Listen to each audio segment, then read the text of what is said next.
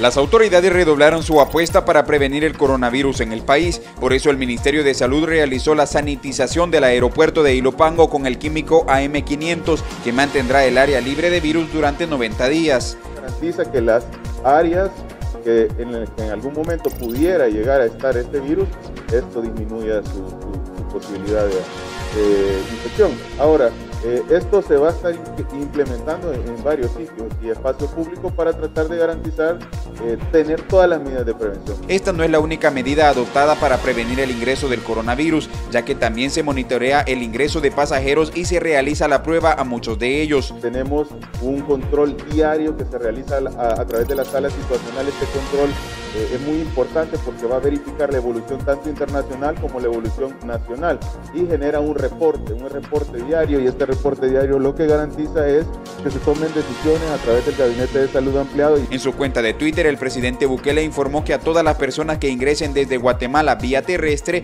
se les exigirá el pasaporte para verificar si han estado en países donde hay presencia del COVID-19. Las autoridades esperan realizar este proceso de sanitización en otras instituciones públicas como los hospitales y las unidades de salud.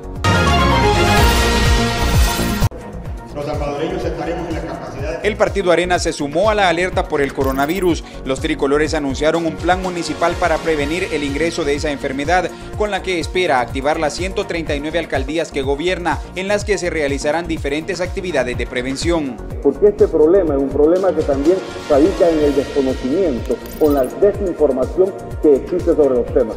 Entonces, yo creo que por ahí eso descentra y lógicamente en actividades que sean más, más correlacionadas o más vinculadas a la prevención. Los alcaldes dicen que ya están preparados para impulsar algunas medidas, entre las que se incluyen el reparto de algunos productos necesarios para la higiene e incluso llevar agua potable a los centros educativos para que los niños puedan lavarse las manos. Tuvimos a bien pues hacer, tomar una reserva y comprar mascarillas, alcohol gel antes de que se agotaran. Ahora ya yo tengo entendido que ahorita se van a, a buscar y ya no hay. Nosotros tenemos una carpeta con un monto de 52 mil dólares para este tipo de, de, emergencias, así que estamos preparados. El partido tricolor también pidió a todos sus alcaldes organizarse con protección civil para atender cualquier emergencia. Los alcaldes del partido tricolor esperan que la población acate las recomendaciones para evitar o retrasar el ingreso del coronavirus a tierra salvadoreña. El doctor Magaña Benavides ha descubierto que cada día es una oportunidad para ayudar a sus pacientes a que tengan una vida plena. Este mismo sentir ha sido transmitido